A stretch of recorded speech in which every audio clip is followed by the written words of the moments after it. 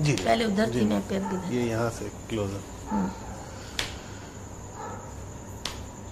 मुझसे पहली सी मोहब्बत फैज साहब की मशहूर। जी ये मेरी मेरी अपनी धुन है। जब मैंने पढ़ा मैंने अर्ज़ किया ना मुझे शेर व शायरी से बचपन से शौक था। तो जब मैंने पढ़ा तो इसकी धुन हमने खुद बनाई। फिर ये मैं जब चंद लोगों ने मुझसे आके कहा कि ये मोहम्मद अली जिन्ना साहब के, उसमें हम चैरिटी शो कर रहे हैं और मैं छः लाख की टिकटें बेच दी। उस वक्त छः लाख बहुत ज़्यादा होता था। ये फिफ्टी फाइव की फिफ्टी सिक्स की बात है। तो ये मैंने कहा अच्छा मैं गाऊँगी। वहाँ जब हम स्टेज पे गए तो मैंने लिस्ट दे दी कि छः सात, दस गाने जो मैंने गाने वो ये ले लूँ। उनकी रिहर्सल भी कर ली। एंड टाइम पे पता चला, जी, ये आप नज्म नहीं गाएँगी। मैं तो हैरान हो गई, मेरी तो उस वक्त बहुत ही पसंदीदा नज्म थी ये, और तय नहीं मैंने उसकी धुन बनाई थी। तो मैंने कहा, जी, नहीं, ये तो नहीं, मैं नहीं करूँगी, ऐसे तो होगा नहीं। फिर कुछ बहुत बड़े अफसरान थे, जिनका नाम बेकार है, उन्होंने कहा कि, जी, नहीं, ये फिर नहीं होगा। तो मैंने कहा तो फिर शो ही नहीं होगा, मैं तो घर जाती हूँ। मैंने कौन से आपसे पैसे लिए हैं? मैं तो अपने मुल्क के लिए गा रही हूँ कि चैरिटी है। फिर उनको सबों ने समझाया कि थोड़ा सा इसका भेजा ये जिद्दी करने दे आखिर क्या वजह? वो उन दिनों फैज साहब जेल में थे तो वो कुछ झगड़ा था। मैं गाई फिर। इतनी मकबूल हुई। उसी दिन ये नज्म बहुत, फ़र्स्ट टाइम लोगों ने सुनी। पूरी पब्लिक उठ के खड़ी हो गई। इतनी अच्छी लगी सबको तो मैं चली गई गा के। फिर उसके बाद दो दो, तीन दिन बाद मुझे रात को रात को दो बजे के करीब या एक बजे फैज साहब मेरे घर आए। और मैं तो करीब करीब सोने वाली थी तो पता चला कि उन्होंने कहा जी फैज़ आए मैंने कहा भी कौन है फैज़? पता नहीं कौन है। उन्होंने कहा, जी, फैज़ अहमद फैज़। ओहो, मैं तो ना दुपट्टा, सर पे, ना पाँव में जूती, भागी बाहर। जाके मैंने बाहर देखा तो एक शख्स को पहली दफ़ा देखना तो ज़रूरत तो नहीं होती कि मैं उसको गले लगा लूँ। इतना मुझे उनका कलाम।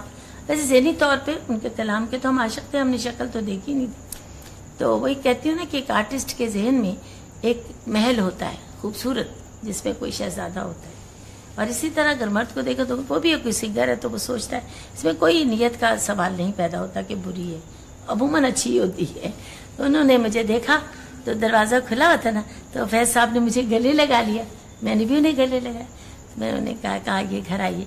कहते, भाई, मैं आपसे सिर्फ़ शुक्रिया अदा करने आया हूँ कि आप इतनी ऊँची हस्ती हैं, जिन्होंने इतना मुकाबला करने की तुम्हें यानी हिम्मत है कि आपने सबका मुकाबले करना था ना गवर्नमेंट का कि, नहीं जी, मैं तो नहीं गाऊँगी।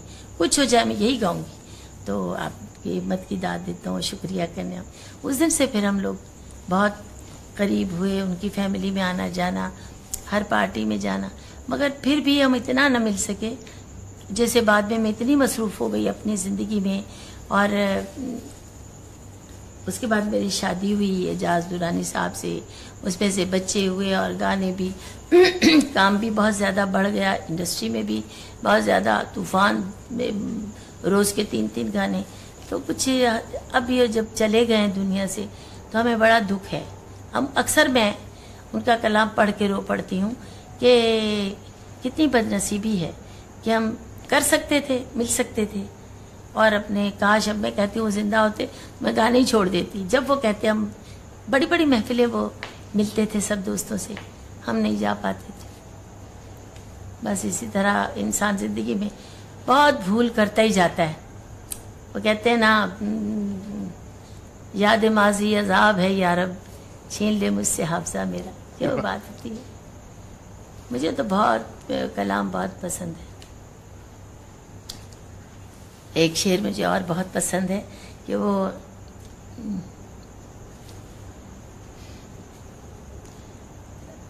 वो परिंदा जिसे परवाज से फुर्सत ही न थी। ये कुछ बेवफा लोगों की कुछ बे, बेवफाई पे लोगों की याद आया कि वो परिंदा जिसे परवाज से फुर्सत ही न थी। अब जो तन्हा है तो दीवार पे आ बैठा है। अब जाता ही नहीं। दीवार पे आके बैठा। मुझे मैंने कहा ना मुझे बहुत पसंद है। और एक और मुझे शेर बहुत पसंद है। बहुत। वो कहते हैं तुम्हारे नाम से दुनिया मुझे पहचान लेती है। तुम्हारे नाम से दुनिया मुझे पहचान लेती है। मैं वो खोई हुई एक चीज़ हूँ जिसका पता तुम मैं वो खोई हुई एक चीज़ हूँ जिसका पता तुम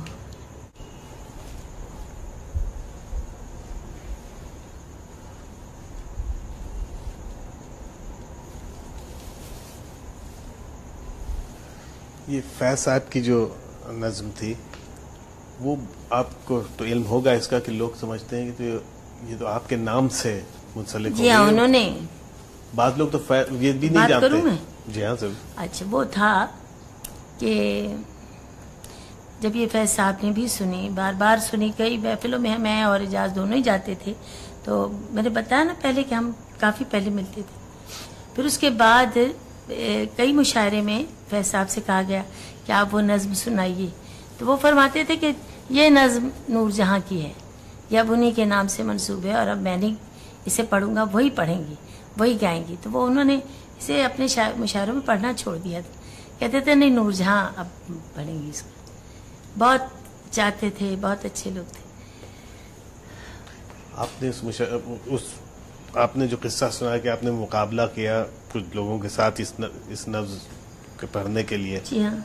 और कभी आपको कोई मुकाबले करना पड़े किसी इस, नहीं अल्लाह का बड़ा करम है मुझे ज़िंदगी में तो जी अब तक मुकाबले ही चल रहे हैं।